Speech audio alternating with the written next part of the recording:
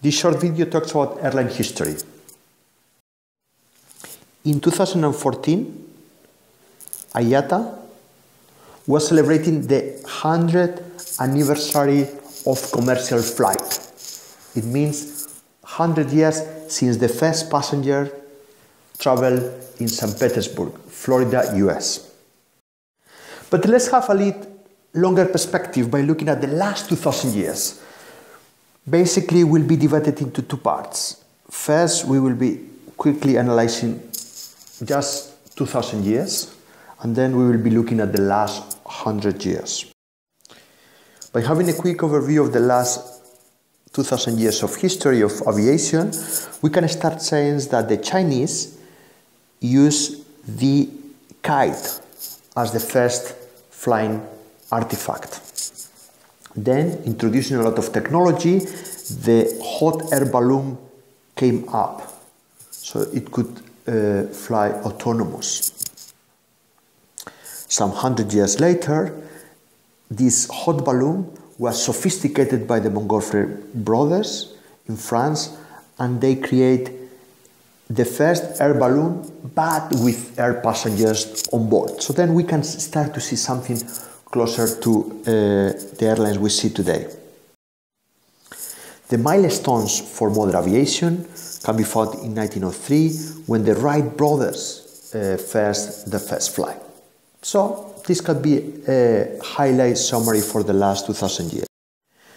Last 100 years of uh, airline history have three milestones with important implications. First one is World War One. Second is World War II. And third is September 11. The two wars had a big implication in the speed of development of aircraft. Basically, during those wars, uh, aircraft were uh, developed in a faster way than normally. The third milestone, September 11, had an implication on security for uh, airline business.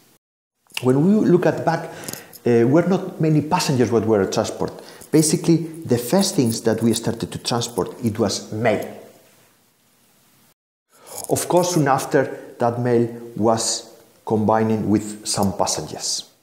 But it was not until 1940 that the revenue generated by those passengers was greater than the revenue generated by the mail.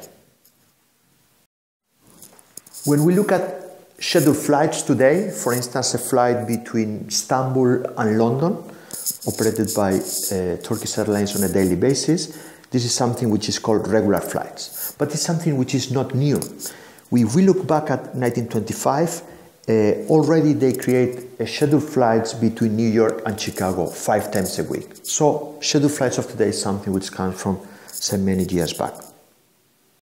Highest safety standards we, we have today is not the same as we had uh, in the past. And basically, at the beginning, the standards of safety were quite poor. The period between the World War I and September 11 sometimes can be called maturity period. It's a bit before that. Uh, and because we didn't have wars, the uh, aviation keep developing and reach a, a, good standards. But basically, the point I would like to, to highlight is the 1978 because is where in the US the airline business was first deregulated. But what deregulation means? Basically, before that, airlines had a lot of ties, so they had they don't have freedom about the price they could charge, they don't have freedom about the uh, destinations they could fly to. And many of those restrictions were removed with the regulation. This regulation didn't only happen in the US, but later happened in Europe and in some other places, including Turkey as well.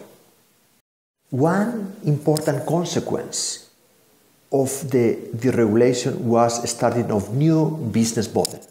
And basically, the low-cost airline model was born after deregulation. If we look at the last hundred years of Turkey uh, aviation, we can say that the first flight,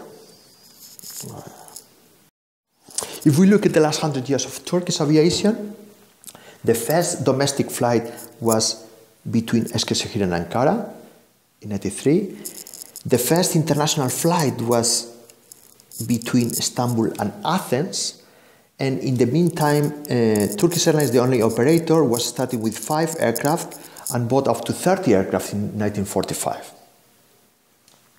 Now, in 2013, Turkish Airlines in this case is flying to more countries than any other airline in the world. So we can see a big achievements in the uh, airline business of Turkey.